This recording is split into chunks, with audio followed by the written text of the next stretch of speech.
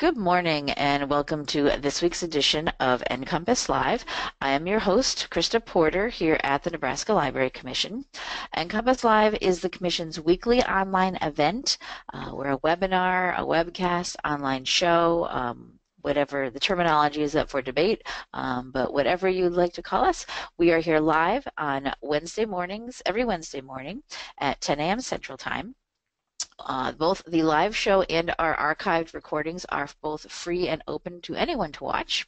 So if you do see anything of interest to any of your colleagues, friends, neighbors, family, anybody out there, um, please do um, share our website to them and have them register for upcoming shows or watch any of our archives. And at the end of today's show, I will show you where all of that is. Uh, where the website is and where you can access the recordings. Um, we do a mixture of things here on um, the show. Uh, book reviews, many tra training sessions, interviews, uh, demos of new products and services, um, basically anything library related. We that is our only criteria that whatever we have on the show is something that libraries are doing, something that they could be doing, some new resource or service available to them. Um, there's um, you know some of our topics you, you might look at a title and say, oh, libraries, but trust us, it'll always have something to do with libraries. That's what we are here do here at the Library Commission. Um, we do have Nebraska Library Commission staff come on and do some sessions, um, some episodes for um, Nebraska-centric or specific things, but we also bring on guest speakers. And um, that's what we have this morning from um, the West Coast. With us this morning is uh, Kristen Rebmann, who's an associate professor at the School of Information at San Jose State University. Good morning, Kristen. Good morning, Krista. And uh, with her also is Don Means, who's um, from the Gigabit Libraries Network. Um, good morning, Don. Good morning, Krista. Morning. And uh, Kristen and Don have a presentation, as you can see from the slides here, about something new would be great for our small and rural libraries. We have lots of those here in Nebraska.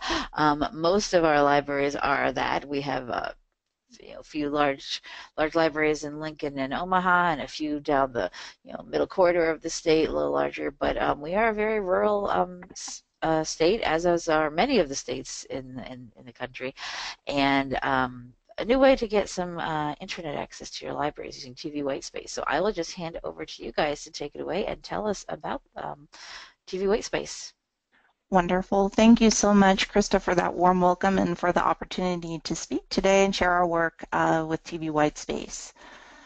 Okay, so our presentation is really about uh, small and rural libraries and how they can lead with TV Whitespace, which is a new uh, wireless technology, and we'll be talking a lot more about what that technology is.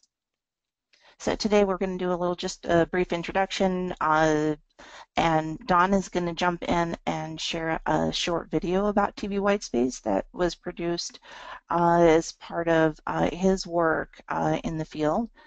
And we'll be providing some background uh, on TV white space technology and what it might mean for uh, the issues of access and inclusion in libraries, uh, particularly small and rural libraries.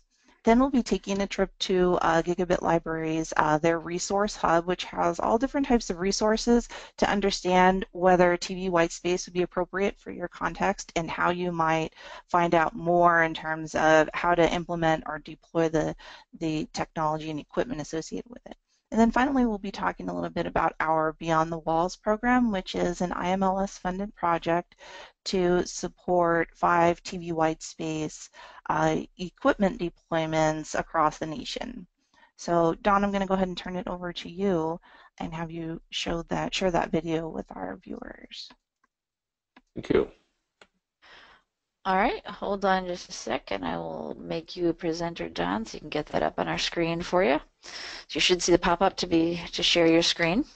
We'll have to do that first. Excuse me, I have to. I had already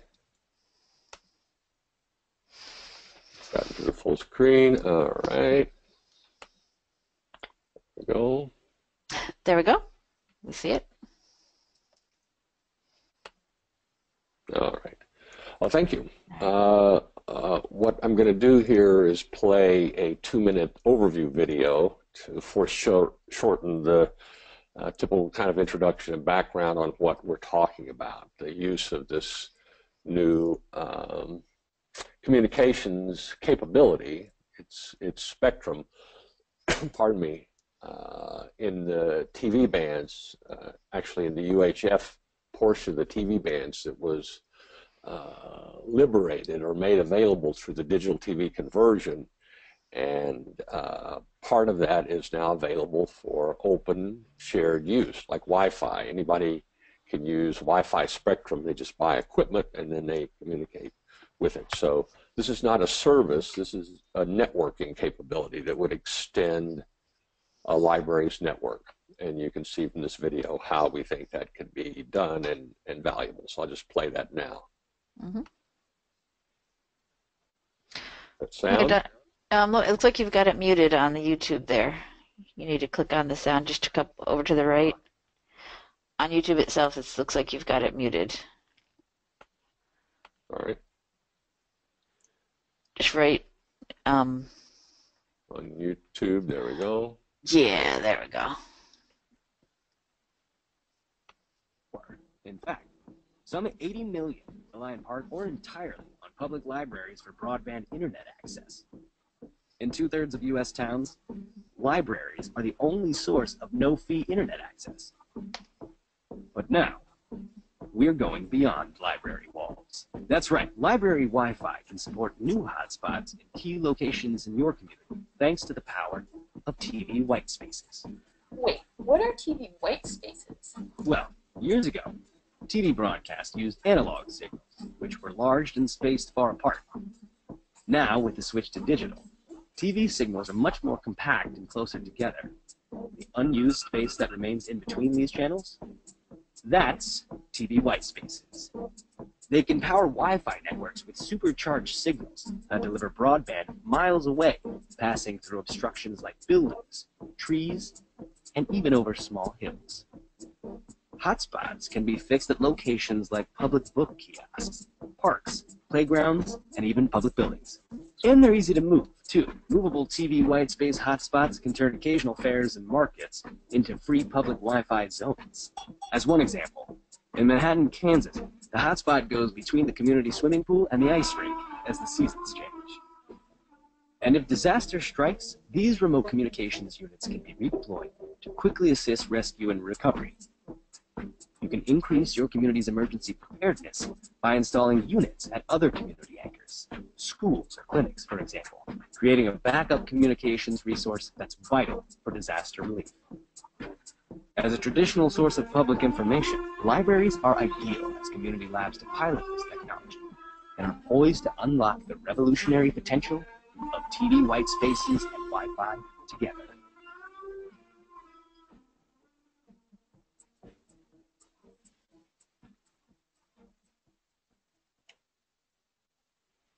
There, that wasn't so painful. No, that was awesome. That was very clear. Okay.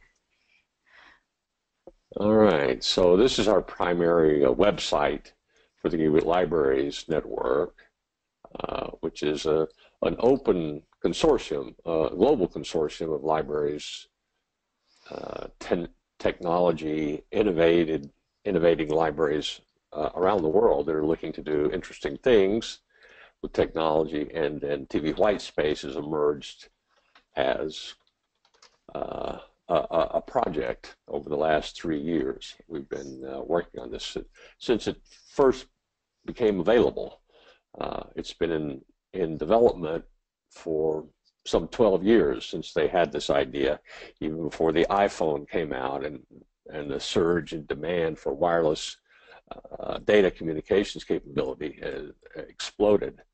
Uh, so it's been a long time coming, but it's a very special thing. Uh, you wanted me to talk about the, the resource hub. Before I we think get, that we had a couple of slides before the resource All right. hub okay. that I can go ahead and switch to, and then that'll sort of lay the groundwork for you to go through all of those resources. Okay. All It's right. very, it's Sure. actually pretty short. All right, I'll change back to you now, Kristen. No problem. Okay, fantastic. Okay, so There you go. Let me jump back into my uh, make sure I didn't go too far. Okay, so as that video mentioned, uh, there are you know, there's everyday uses for the radio fre uh, frequency spectrum, and these portions of the spectrum are reserved for public use. And white, TV white space is just one segment of that that can be used by libraries to expand their Wi-Fi networks.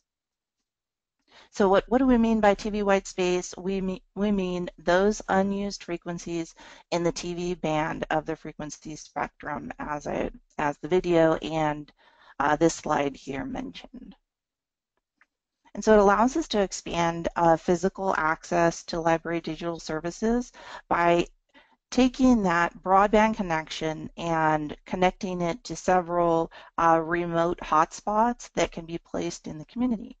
And so a library uh, community network would be expanded beyond the walls of the library to reach whatever places that the library can imagine. And so this would be great for a rural library. Uh, as this slide shows, you could have a rural or small library with a TV white space base station connected to an, an internet access point. Okay, so you'd have your broadband coming into the library. And then there'd be an antenna attached to the or mounted on the basically the roof of the library that would allow you to broadcast to rem remote radios using TV white space frequencies. So they're going to use those uh, frequencies uh, of the spectrum, those TV white space frequencies, to communicate with the remote client radios. And so you can see in the top right-hand corner of this line, and this infographic really is the anatomy of a TV white space hot, hotspot, which uh, is it works, you have remote client radios, which will extend uh, Wi-Fi into the community, and they'll be connected to a Wi-Fi router. So the hotspot itself connects patrons to the internet via laptop, tablet, or mobile device, just like any Wi-Fi hotspot would that would be within the walls of the library. But now you can expand that connection to other places in the community. And so we, when we created this infographic, we had in mind that a library might want to create a hotspot in a senior center or a clinic or a shelter or maybe a museum, a park, or some other type of uh, portable event that might be moving through the community or a temporary event like a, a farmer's market or a fair or perhaps a school like in, in community and uh, collaborations among schools and libraries are uh, really fantastic examples and of uh, the types of collaborations that can happen uh, among different community-based organizations. And so the the uh, distance away from the original uh, broadband coming into the library may vary, but uh, hotspots conceivably the technology could be pushed to six plus miles. Uh, but again, it's going to be really idiosyncratic to the context that you're working in, the geography, and uh, your initial connection coming in. So there's a lot of factors in play. Okay, so as I mentioned in this previous slide, uh, Wi-Fi plus TV white space allows for the extension of Wi-Fi networks into the community.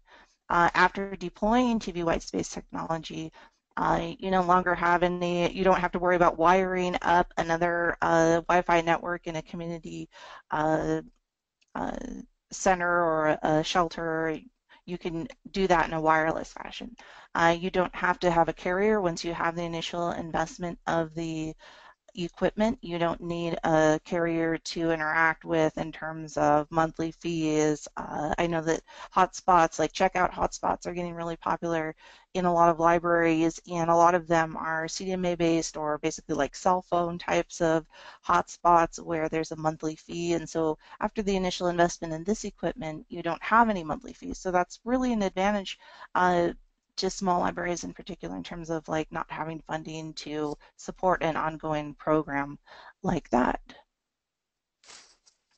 And so just uh, to focus on this issue of small and rural libraries and why TV Whitespace is so important to them, it, you know, with a lot of uh, technologies and the adoption path of new technologies, uh, urban and developed areas are advantaged.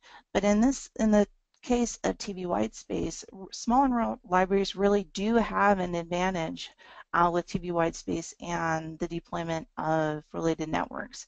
And the reasons for this are that in rural libraries, there there's lots of availability on the spectrum. And Don, when he goes to the resource hub and he shows you that wealth, uh, the wealth of resources there, he'll show you how a, a, rural area has an advantage over an urban area in terms of access to channels. And in an ongoing fashion, there will be less competition for channels because you have less uh, competitors seeking those channels for other uses and other uh, perhaps uh, forms of media to be uh, broadcast over those frequencies. Now there are some challenges with uh, TV whitespace, and we'll be talking about those uh, a little bit later. Uh, one key one, one key challenge is that it requires a minimum connection rate of 20 plus megabits per second. So you kind of you have to have a somewhat robust connection uh, coming into the library uh, before you get started with TV Whitespace. And I think that these sort of advantages and challenges are a good lead in to uh, have Don uh, talk more about uh, the Gigabit uh, Libraries Resource Hub. Okay, great, my cue. Thank you. excellent, Kristen. these these bullets are um, are highlights for consideration uh, and kind of acknowledgement here that the the video mentioned the the number of 80 million uh, people uh, relying entirely or, or, or partially on libraries for internet access. This was this was a peak number, I think, uh, in the in the few years after the financial crisis. It has gone down now. Uh, maybe half that number now uh, rely on libraries to that extent. But it, it, it makes the point in times of stress and need, uh, libraries come to the fore as places people turn to for help and, and resources. So um, it's still tens of millions uh, do rely on the library. And um, and so, well, they all have to go to one of the actual facilities, one of the 16,000 something facilities to access that service.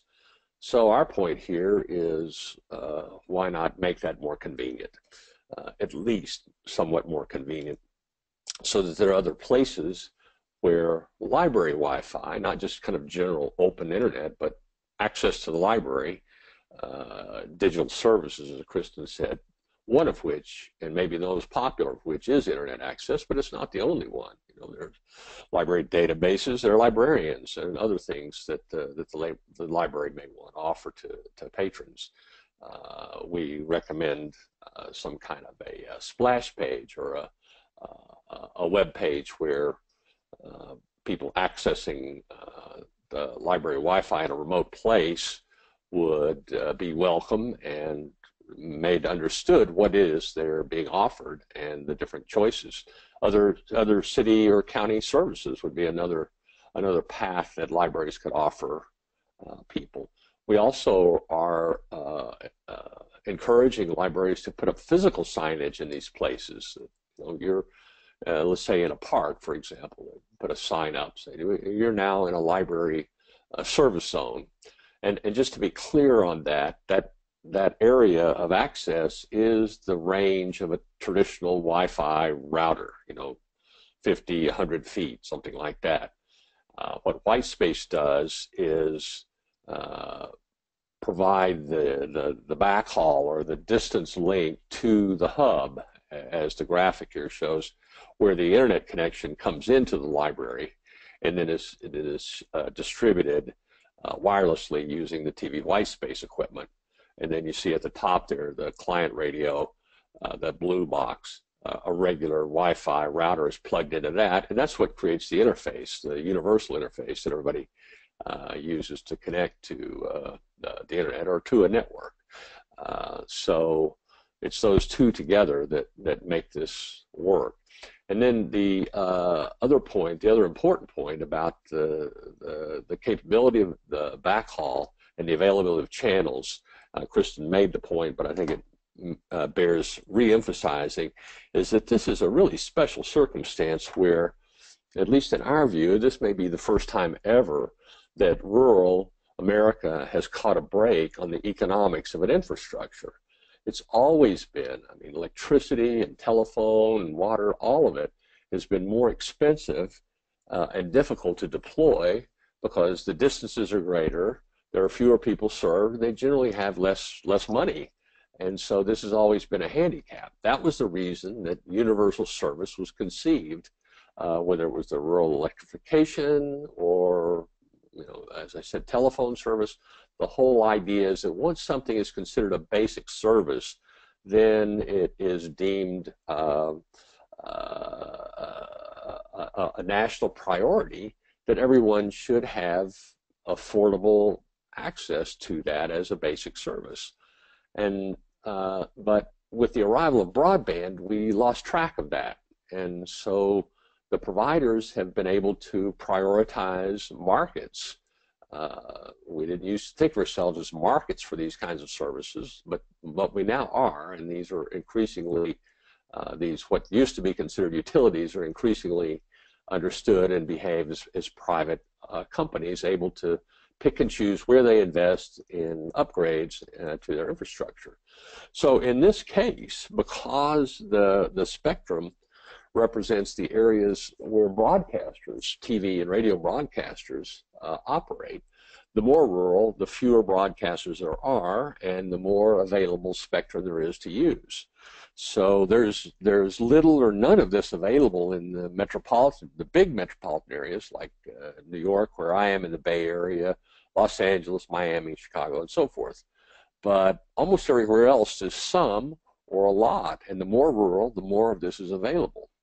The caveat is the flip side, and that is a lot of libraries in in more remote areas, small rural libraries, have less uh, uh, backhaul or, or internet connections to their facilities, uh, which they need to allocate some of that uh, to support these wireless connections, which of course are two-way. And so uh, our baseline assumption here is that it's national policy under the, the, the National Broadband Plan, uh, under the, the FCC's universal service fund that that libraries and schools or uh, in the in the broad national plan, you know, all community anchor institutions shall have gigabit fiber, and the the changes, recent changes in the E-rate, are built to help that happen. The, the additional billion and a half dollars a year, raising that fund to nearly four billion dollars a year to, to deliver fiber to schools and libraries. Libraries, as I'm sure you're all aware, disproportionately uh, uh, participate in that due to a number of factors. They're, you know, they're smaller, they're less capable of dealing with the, uh, the paperwork involved, and then uh, filtering is also an issue with a lot of libraries. So uh, even as there are eight times more as many school facilities as libraries, uh, libraries get much less than one eighth of the total pool of money but they should be more active in pursuing those. And we also recommend, as we're seeing in many states, and I can't speak for Nebraska, but I, I, I hope so, uh, that libraries are aggregating their, their application process under E-rate so that they can uh, take advantage of these funds. There's also additional funds for in-house Wi-Fi, expanding that because you know a connection to the building doesn't really help anybody uh, it has to be delivered to individuals in the form they can use, either the workstations that are in the in the library or, or increasingly as Wi-Fi as people bring in their own devices. And as these devices get uh, less and less expensive, they're more and more popular for people to bring in. Uh, and I'm sure all of you have the experience of uh, patrons uh, sitting in the parking lot after hours accessing the Wi-Fi hotspot, which is generally left on in most places. Uh, that that's evidence of demand to uh, uh, try to install new library hotspots in other convenient places. So this is how you, let me see if I have control here. Uh, this is how you determine if you are eligible to do this. The, these two uh, basic requirements of uh, uh, backhaul, at least 20 megabits, better, I mean, more is better here. Uh, and then also spectrum availability. So we'll just demo this very quickly. If I, Right. Um, Don, if you want to, this is Kristen's still showing her screen, but I can switch to you so you can live Oh, okay. demo this. All right, thank you. Yeah, hold on just a second. We'll get yours up. So go ahead and do the share your screen again. Right, thank you. There you are. You're on. Okay, so this is a this is a checklist uh, for uh, participation in the Beyond the Walls. We'll get to that, the IMLS uh, grant that uh, Kristen mentioned, but it's a general checklist for any library or any facility really uh, that would be interested in deploying this. Uh, there's a, another two-minute video that kind of runs through this list. Uh, we'll just touch on it manually here, and the first one, as I mentioned, is this necessary backhaul, at least 20 megabits. And then you have to check for uh, channels, and I'll demo that here. So we need a, since we're talking about Nebraska, uh, someone give me a, a town in Nebraska, a name of a town. Um, let's go with Sidney. Let's try Sidney. I know Yes. um, someone from Yes. there is on. S I D S Y D S I D N E Y. E Y. Okay, so this is a this is a database of uh, of available channels, and you can see the whole country. Uh, the dark areas there's little or none. The yellow and even orange, and especially the green areas, you can see at the top they have tons of it. And so this below uh, is one is the result there. And so what we're really interested in here are the are the UHF channels, which are 14 and above. And so you can see there's lots and lots of available spectrum for Sidney to use to serve its community. So that's the big bonus news is you've got a lot of stuff. And as Kristen mentioned in her slides, this is uh, this is internal networking. So there are no carriers involved. I mean, you're paying someone to to connect you uh, the facility, but this is this is uh, a way to leverage that connection and expand it, expand its availability around the community without any. Uh, there, there are also no need for towers, uh, much less third parties or service fees ongoing. The the one point about uh, the popularity of the checkout hotspot that, that I think bears mentioning is this this is not mobile technology. Uh, cell systems are rated for mobile. You know, driving down the road, your your device, your phone, uh, is handing off signals from one tower to the next. There's a large network, even though it has a lot of gaps in it. There's a substantial network of towers uh, that uh, connect to these devices, and they're built very sophisticated uh, that they can hand off from one to the next, and you you don't even realize you're you're moving your connection from one tower to another. In the case of TV white space, this is not mobile technology. These remote units are portable; they can move, be moved from place to place, but they they're really uh, uh, built to be fixed. You know, movable, or they say nomadic fixed. So you can move it around, but setting it up is uh, uh, is there's a little more to it. Uh, you know, they they need to, they need to be tuned a little bit, and so I don't think these are yet uh, to be understood as replacement devices for these uh, MiFi units, which are you know really interesting, and cool if you can if you can support them.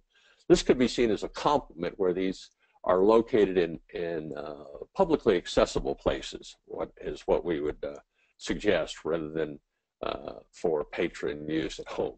Not I'm not there yet.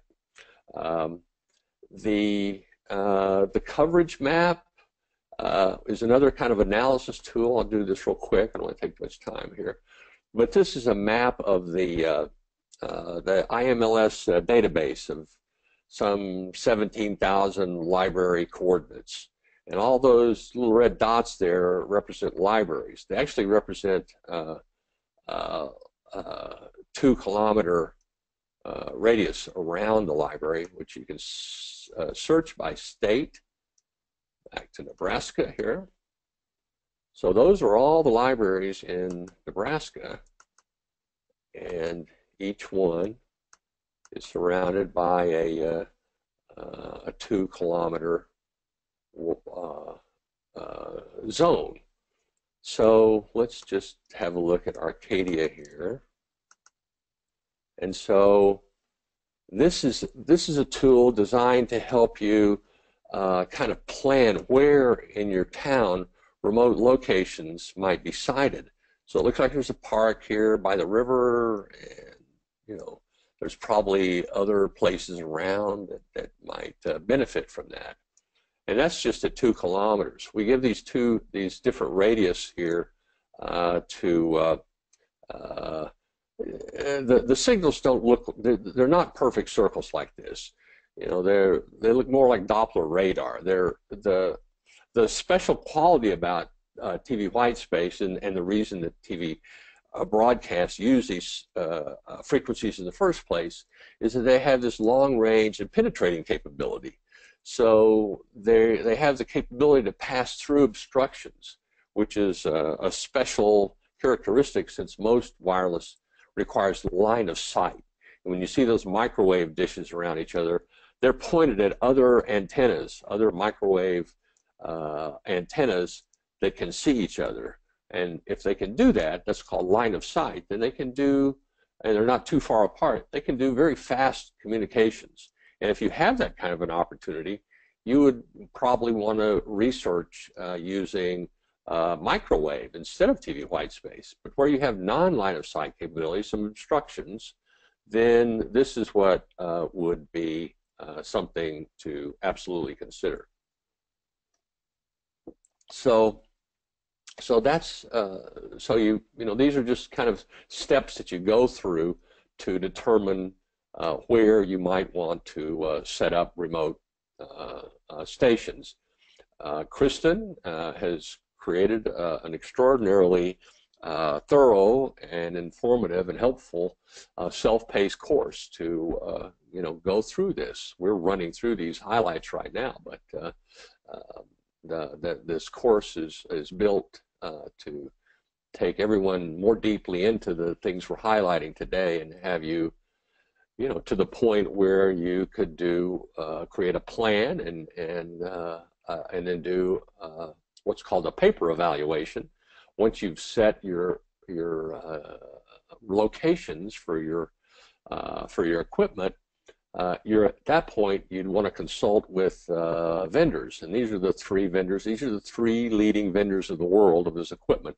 They're small companies, uh, but this is a this is, a very new uh, thing, though it is being explored and adopted at various stages around the world as uh, digital TV conversion is a global phenomena. And so uh, what these vendors would do would be uh, uh, uh, what we call, they call a paper analysis. So if you give them the coordinates, let's say for your base station and, and three remote locations, they can uh, use Google Earth and get a, a side view. They can see all the intervening buildings and trees and terrain between any two points and estimate the likelihood of a successful connection. So you go through this, you know, they, they validate and verify your plan, and then they give you, you know, a price quote on, on what a system would cost, and then you make your decision about acquiring it the way any you decide to uh, acquire any kind of equipment or service. Uh, though this is equipment and not a service, to, except to the extent that you're getting service from the manufacturers. So uh, that's the normal kind of process that people take uh, to evaluate and decide if this is something for them. Uh, the equipment costs are comparatively low, really very low compared to uh, telecom infrastructure costs because you just attach some of this, this equipment, the radios and their antennas, to poles or sides of the building uh, to set up the links. And so the, without wires or digging, or any permissions or permits. Uh, it's really very low cost. The equipment itself for a simple network uh, should be in the range of oh, uh, six, eight thousand dollars for a base station and and uh, two or three remotes.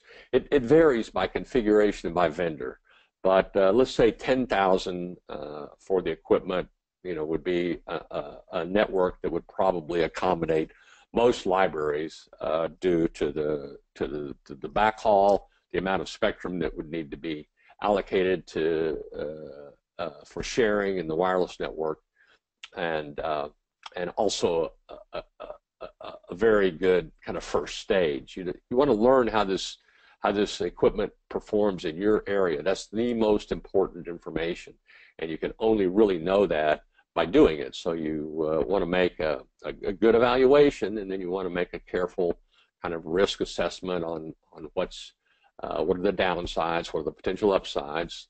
Uh, but we think this is a real a real winner, especially for rural libraries and rural communities in general. So I think we had uh, your other slide or, or the next item on the agenda, Kristen. Do you want to take that back, or do you want me to show something else here?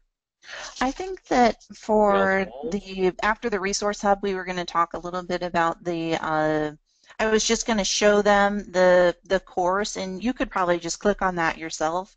We okay. can just let the participants see what that looks like. And yeah. so basically, you can just click on that at the go to the canvas.net. Uh, which is Canvas Network uh, for all of their online open courses, and you can search for if you get to just their website and have to search for the course, you can just search for TV White Space and our course will come up and you can enroll. The course, uh, it will be continue to be available until May 1st.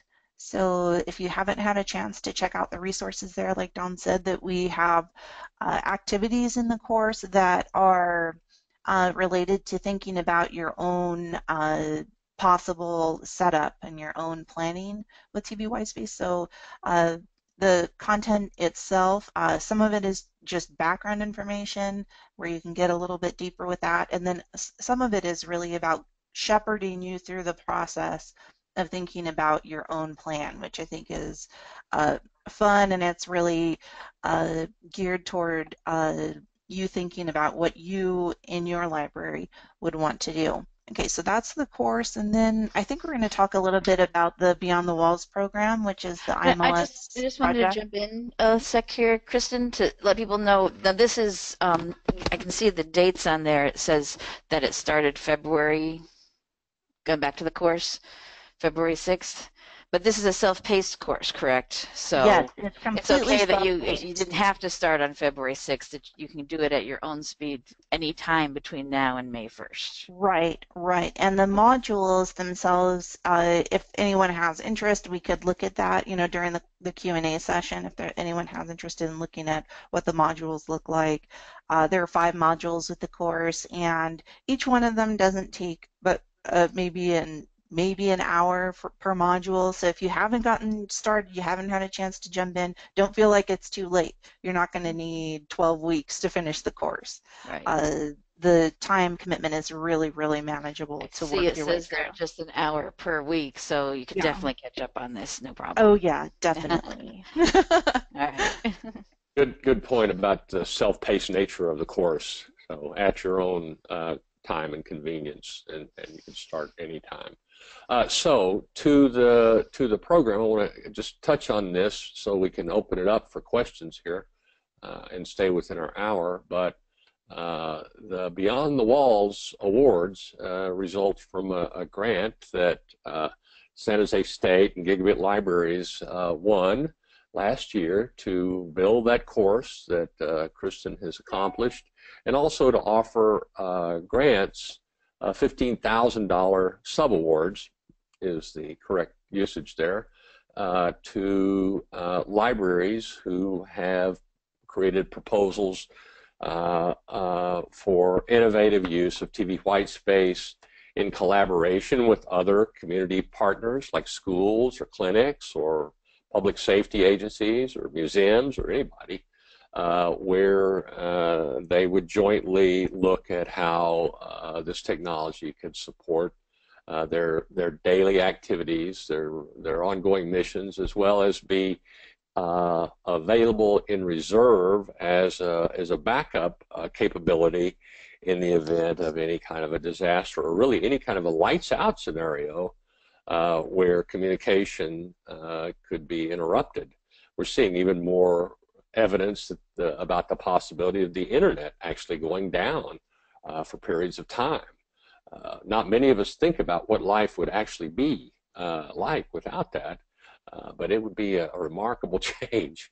In any case, I, I, regret that the, the, the deadline for these proposals is Monday, which is not much time if you haven't already uh, become aware of this. But if you if you do uh, if you are interested and you can put a uh, proposal together uh, by Monday uh, midnight Hawaii time, we're giving every minute possible to to the motivated people that want to jump in on this. Then uh, we will we will give it a look, and if it has some promise, we will come back and, and help you develop it a little further before we do the final evaluations on these on these proposals. So uh, it's a kind of a mixed message here of maybe be a little bit discouraged because it's late, but don't be totally discouraged because the window is still open if you're motivated enough to uh, jump in. And then there's all these other items explained, and here's the application form where you talk about what you want to do and you know, in 500 words and what the need is in a couple hundred words. So it's, it's not very complicated, but we, we uh, uh, uh, judge these uh, uh, according to their creativity, the level of uh, collaboration involved, and also the expressions of commitment by the, by the library and, their, and their partners in doing this. So we're seeing a lot of really interesting proposals come in and some great ideas. Uh, I do know that uh, there are a couple that are coming in from Nebraska already, um, and it looks like the pop, the most popular collaboration is is partnering with schools. And I'll just I'll turn it over to Kristen after uh, uh make this point that uh, what from what we've learned is that the schools in Nebraska are highly wired. You know, they all have high capacity fiber. At least it seemed like they they all or nearly all do through through Network Nebraska. And yes. by comparison, the libraries have uh, much, much slower connections for some of the reasons we touched on above. And yet, those libraries have to support or are expected to support the students uh, who leave these school environments, these well-connected school environments, to do homework after hours.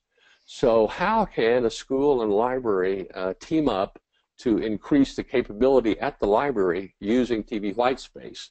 In the short term, it might look like uh, a base station is actually located at the school building and the remote unit at the library, where they might be able to add, you know, another 10 megabits to a library who may only have, you know, an old T1 line, a 1.5 megabit connection.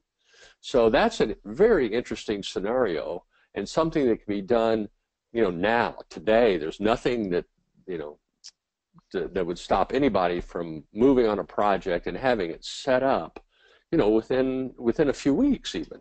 Uh, so I say nothing. It, you know, there's there's uh, there are issues involved naturally, but I'm saying there's no there are no regulatory or permission hurdles or any of that. If if you've got the will and a few thousand dollars, uh, then that kind of a, a, project is possible. So with that, uh, Kristen, if you have other items on the agenda or you want to open up to questions, I think I've done enough. Thanks, Don. That was fantastic. If, if you go ahead and switch back to my desktop, I'll just go ahead and close out the presentation and open it up for questions. Sure, there you go. Go ahead and open my slides back up. Uh, just as Don mentioned, we have that Libraries White Space project that we're uh, still accepting applications for. And we just want to say thank you. And again, for the warm welcome, Kristen, for allowing us to come present. Uh, it's always such a pleasure to be able to reach people, especially via the online space uh, and these webinars. Uh, so we just really want to encourage anyone to contact us. We love to talk about TV Whitespace and all of these activities that we're involved in. So drop us an email, connect with us on LinkedIn, uh, however you feel comfortable. We'd love to be in contact with everyone. So thanks again. So, questions, anybody out there? Yes, we did have some questions that came in uh, while you guys were talking, and um, we'll just start at the uh, right at the top of the ones we have here. Um, actually, um, one of our libraries who did apply, Sidney, who I mentioned um, earlier, um, Sidney Public Library. I did not know they had sent in an application, but I knew that their director, uh, Andrew Sherman, was on the line and asking some questions. Um, but he did say that they have actually submitted an app for Sidney. Uh, but he wanted to know um, is there any risk that these frequencies at some point could get designated for a specific service by the feds? Like, could they potentially be no longer well, this is true of all spectrum, all spectrum. Uh, you know, all spectrum starts out as the public airwaves, and then over time it's allocated to uh, mostly for uh, commercial use. And so these take the form of licenses for specific frequencies to carriers to use to build into their systems and then resell uh, services through. Large chunks of spectrum are held by the Defense Department uh, and then other government agencies are holding these.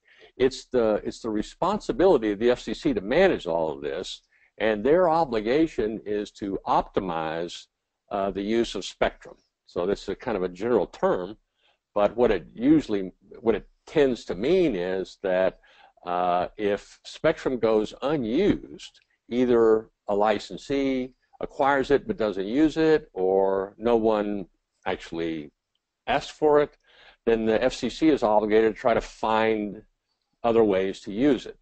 Hmm. So this particular spectrum is highly desirable, generally speaking, because of its uh, its characteristics that we talked about. Uh, they call this beachfront spectrum because of its uh, its uh, penetrating capabilities.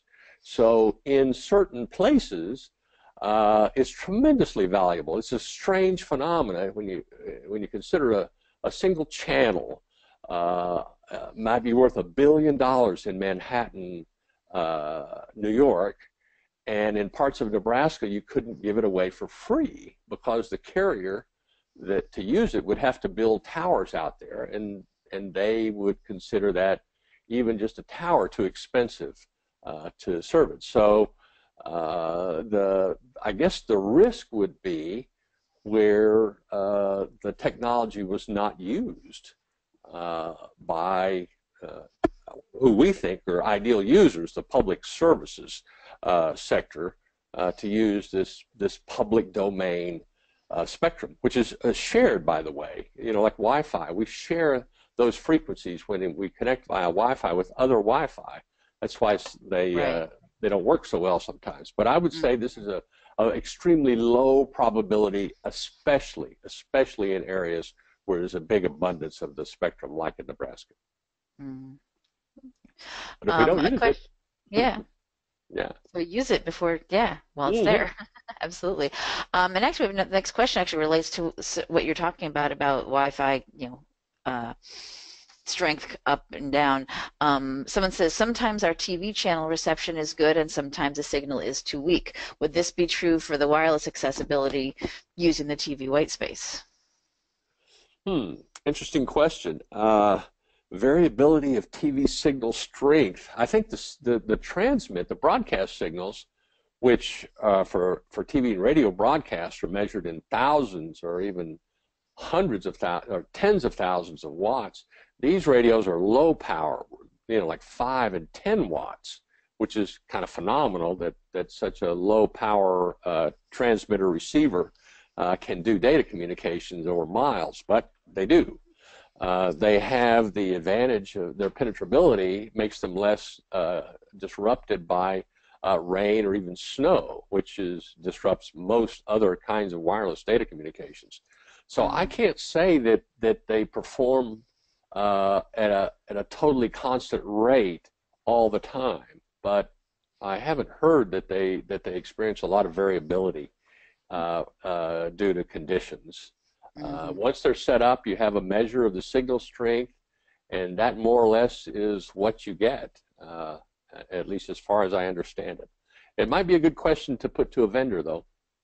Right, they might know if they've what experience or, and I saw you did have on your website links to um, information about the Kansas project, so maybe see what else What That was a setup. That's a good. That's a good resource. Uh, Manhattan, Kansas, uh, was an early uh, an early user, uh, highlighted in the, in the video. Uh, they also uh, deployed one in the senior center, which has been a big success, and another one in the park, also a success. Uh, and we just learned the other day that they were looking to go kind of a next stage project, build out white space.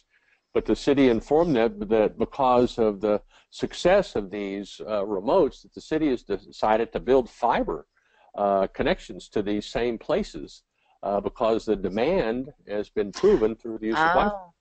So Start out with a TV white space, show the show the demand and that that it's actually being used, and then that convinces the city to invest in the fibers. Interesting. Precisely. Yeah. So yeah, wireless pulls fiber. Users demand uh, just what you said, perfectly expressed. All right. Um, okay. Uh, another question. What about equipment mainten- maintenance? Once you get the the tower and the um, Uh, no towers, no towers, uh, just a Well, the- pole. So uh, a, a base pole, station the a pole you would mount the the base station antenna on a pole, and then the pole would be clamped onto uh, typically the side of a building or maybe on top of a building, and then uh, and then the remote antennas, uh, if you could remember that diagram, are kind of look like old TV rooftop antennas. Though there are some new ones that are much smaller, they look like a, regular Wi-Fi router. Though their range is not going to be as far, the uh, because the you know the antennas are smaller and indoor, uh, but the outdoor ones have a kind of a lateral spar that aims back at the base station to optimize the uh, the link. Uh, the uh, the maintenance issues seem to be very very low.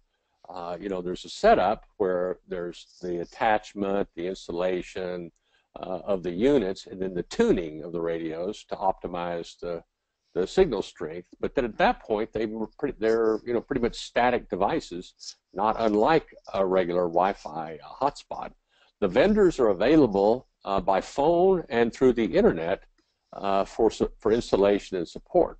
Uh, the uh, the the base station can be uh, monitored directly through the internet from the vendor's location. They can see what it's doing and how it's performing, and can offer additional support. Uh, you may, depending on the kind of you know local support you have, you may want to engage the services of a local uh, you know uh, wireless ISP or uh, someone with experience in in uh, radios to come and, and help you get it set up or uh, even look at it if, if it's experiencing some difficulties. But all the stories we're getting is that these are very stable systems once they're set up. Well, that's good to know. Yeah, they don't need much uh, backup or support once they're there. They're pretty much there, and having those companies being available for for help afterwards. That they do, I guess, you know, uh, keep up with their installations. Sure.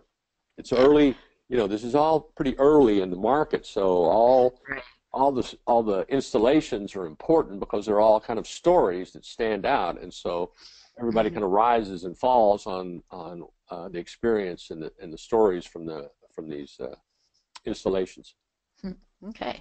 Um, we did just have a comment too. Um, actually, um, Tom um, Rolfes here from the uh, uh, CIO's office here in Nebraska, who I know you guys, I believe, have met with or spoken with, um, said that was excellent observation that you had about Nebraska schools and libraries working together um, with the Nebraska Nebraska link and and all of that. He's, he's Hey, Tom. Yeah. um, and we have one uh, last. just, to, just to follow up on that, uh, Mhm. you know, I, I think there is uh, an opportunity. It's pretty clear in Nebraska, just kind of the size, the the structure, the the, the rural nature, and the institutions in Nebraska.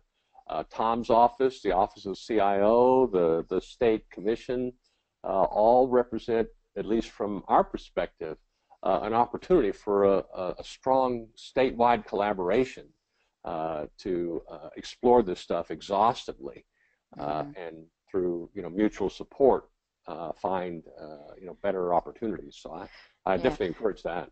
And we always have new libraries um, joining into the connection with the schools here in Nebraska. So that's definitely something for our um, lots of lots of different options out there for our libraries. But that's one that I know some are um, jumping on because it is such a good connection.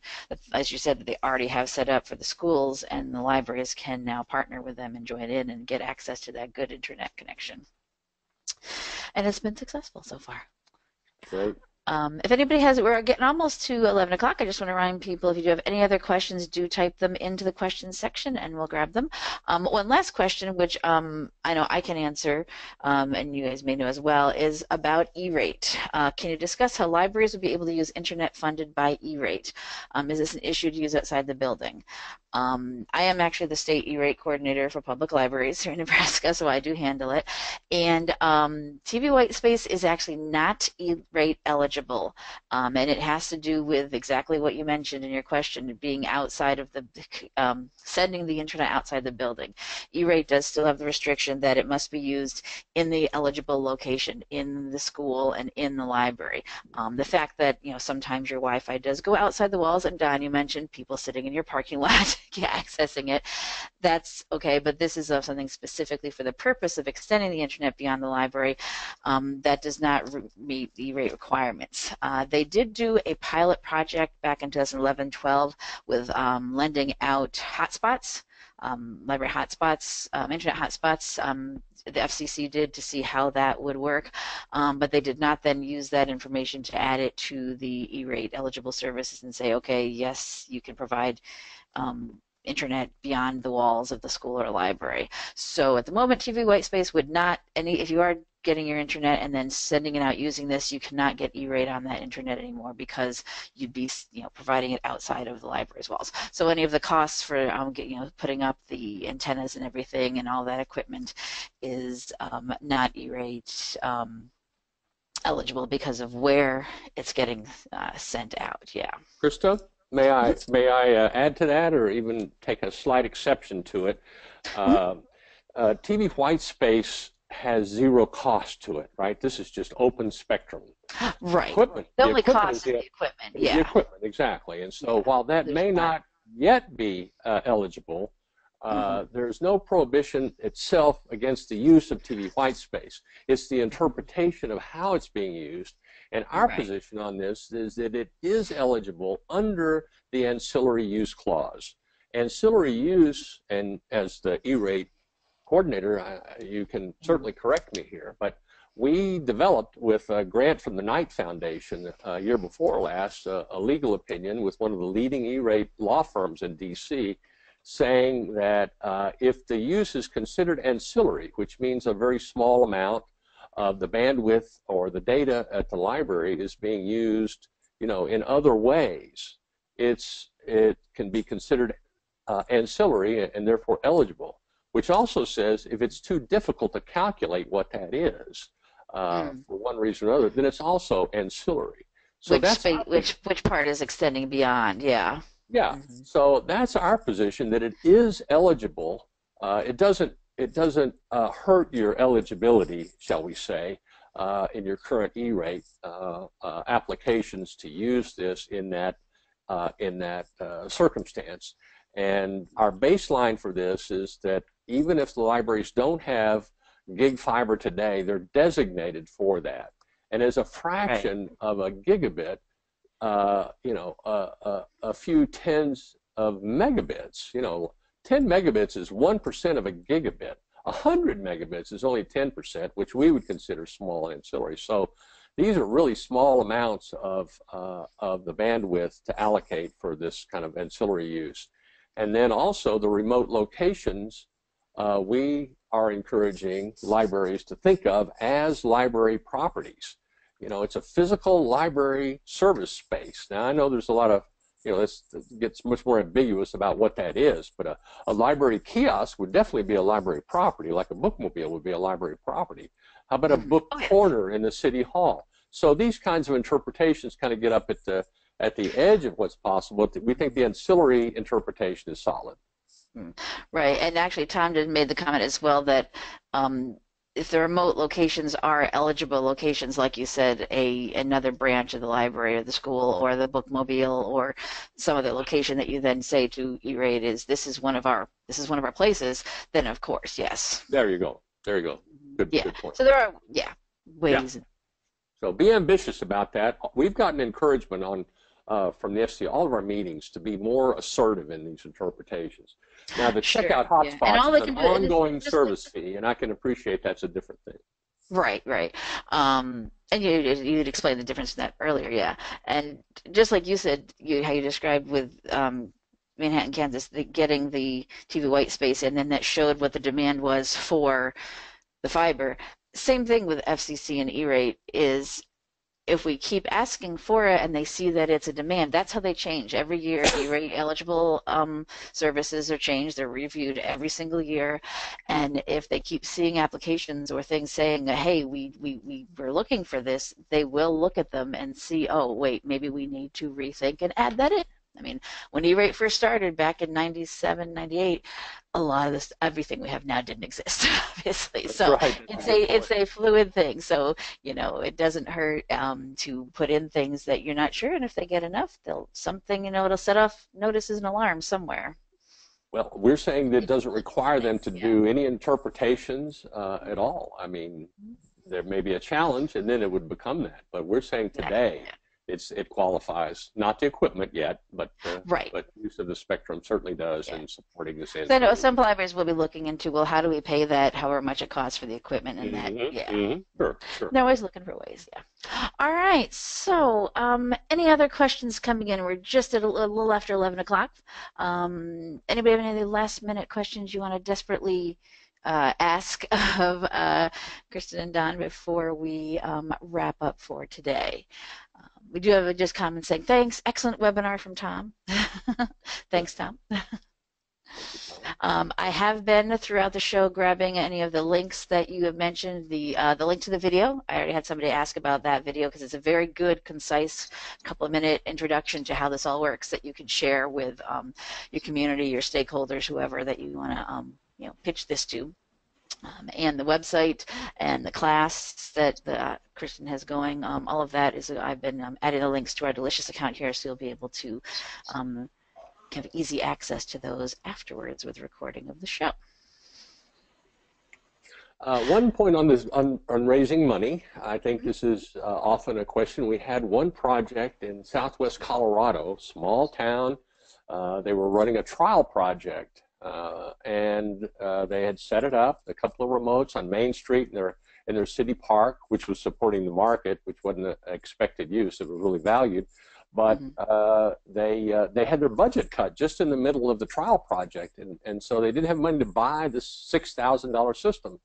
So what they did was uh, start uh, use a Kickstarter to raise the, the, the money to buy the Oh. equipment.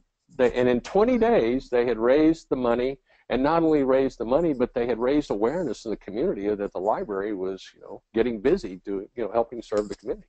Nice. and yeah. so it was a, you know, a great story. Uh, There's so many ways like that now So that you can ways, raise some funds on things right. like that. Yeah. so if you're determined, you'll you'll be able to find a way. Mm-hmm. Absolutely. All right. It does not look like anybody typed any other new questions to us, so I think we will wrap it up for today's show. Thank you very much, everyone, for attending. Thank you, Kristen and Don. That was a really good explanation of this. I have to admit, when I've I've heard about TV white space here and there, and um, hadn't spent enough time as I should have investigating what it is. But now I am definitely more on top of this and how to promote it. To I knew it was like it's a new way, way cheap, easy. Look into it. But now I can actually talk about it if I wanted to myself. Yeah, it's I, I know what Yeah. you mean. You know, people hear it and they go, "Oh no, not another entry into the alphabet soup of telecommunications." Right. I do not want to hear about it, but you look at it a little bit, it gets interesting. Mm-hmm. All right. I'm going to pull back screen control to my monitor now here. There we go. And there's my screen now. Um, as I said, here is the uh, Gigabit Libraries website, um, and I have put into our Delicious account. Let's see if I can make sure I, it's going to show it here. Uh, links to this and the class, the video that you had up. Um, there it is. There's a video link on YouTube. So all of these you'll be able to have access to afterwards when we put up the recording of today's show. Um, and the recording will go on here is our, this is the page for today's show, but this is our NCompass Live website. Um, pretty easy, uh, nlc.nebraska.gov forward slash NCompass Live. You can also Google us, search us anywhere online. So far, this is the only thing called NCompass Live, so type that in, you'll find our show. Um, we have our upcoming shows listed here, but right here underneath, I want to show you is where our archives come um, will be posted. This is uh, last week's show, Build a Better World. It was about our summer, the upcoming summer reading program. We'll have a link to the recording, um, presentation slides, um, and this one is to a handout, but then down here links to all the websites. And Kristen, if you um, send me the slides or post them somewhere yourself, we can link to that for people. Definitely, yeah, I'll definitely send this to you. Yeah. We have a SlideShare account that we use for that. Um, so when the recording is available, I'll let everybody know. Um, it should be sometime later this afternoon as long as YouTube cooperates and does things quickly. um, so that will wrap it up for today's show. Um, I hope you join us next week when our topic is Conversation Circles, a simple ESL program. Um, this is about a, a, a, a a really interesting program that done at um, Los Alamos County Libraries in New Mexico. Um, English conversation circles, trying to get patrons who wanted to practice speaking, um, you know, live speaking English um, with other people. So um, Elizabeth Rivera from there, that library will be with us next week to talk about their program. See if that's something you might want to get started in your library. So please do sign up for that and any of our other upcoming shows. Um, I do have things scheduled for other first date in April. I'm just waiting for confirmation on the description for that and May dates coming up. So always keep an eye on our schedule our, um, here on the calendar, adding new topics all the time. Uh, also, NCompass Live is on Facebook. We do have a link here to our Facebook page, which I've got over here. So if you are um, a big Facebook user, do give us a like. We post um, updates to what's going on in the show right here this morning. I posted a, a reminder to log in on the fly for people. Um, when our recordings are available, I post them here. There we go uh, reminders about the next show. So um, there it is, recording from last week's. So if you are uh, using Facebook a lot, do um, like us over there and you can keep up with what's going on with the show. Um, other, with, other than that, that wraps it up for this morning's NCompass Live. Thank you very much, everyone, and we will see you next time on the show. Bye-bye. Thank you so much. Bye-bye. Thanks a lot, Kristen and Don. You uh, you go beyond the walls of Nebraska for sure. I heard about this from Bangladesh. What? Someone in Bangladesh told me about this. I mean, I, of course, I knew about it. they heard about it. Okay, we do. We do have people for even today, as you saw with the with the in the intro slides, um, registered attendees from all over the country. Yeah, um, these kind of webinars do go out to anyone who wants to um, attend. We're free and open to anybody. Um, all sorts of varying topics. Uh, you have someone online just saying they're logged in from Kansas, so not as far as Bangladesh, but we have had some attendees from outside of the country um, and some presenters every now and then as well. Canada, um, Britain. So. Well, great job. This is uh, this is really well done. Thank you. Yeah, thank you. All right.